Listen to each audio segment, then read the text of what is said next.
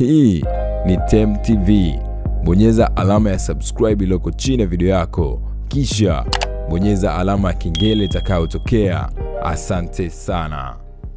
Eh bana, what's up everybody? How you doing? How you feeling? Just tell me wherever you are unasikiliza kutokea pande zipi, lakini uh, taarifa ambayo imeweza kutufikia muda mchache uliopita ni taarifa ambayo by the way sio nzuri kabisa. Uh, ni miongoni mwa taarifa ambazo mi binafsi nyewe zimeweza kuni, kunigusa kwa namna moja ama nyingine.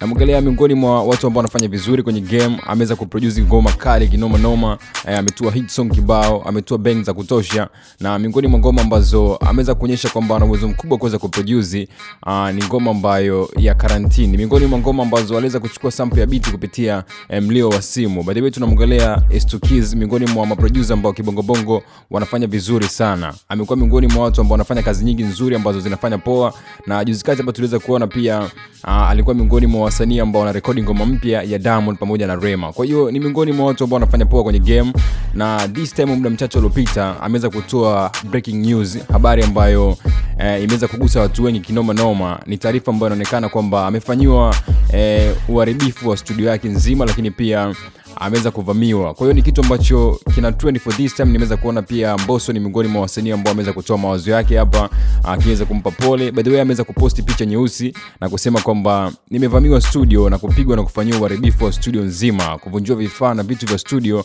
na watu ambao wanadai kuwa ni security, lakini pia ulinzi shirikishi.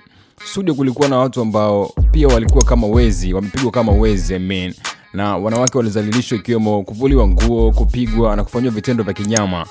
Nimesikitishwa sana na nimekatishwa sana tamaa. Mimi kama kijana ambaye anatafuta ridhiki kazi zetu ni kukesha, lakini tunaangaika Mwisho wa siku eh, tunavunjwa sana moyo na vitu ambavyo havina ili wala lile. Ni taarifa ambayo ameweza kuonekana kwa namna moja ama nyingine, ameweza kukata tamaa man, kwa sababu ya kile ambacho kimeweza kutokea. Ni dakika 38 tu zilizoweza kupita, nimeweza kuona watu kibao wanampa pole, ikiwemo mboso anasema pole sana Zombi, hatua za kisheria zitachukuliwe.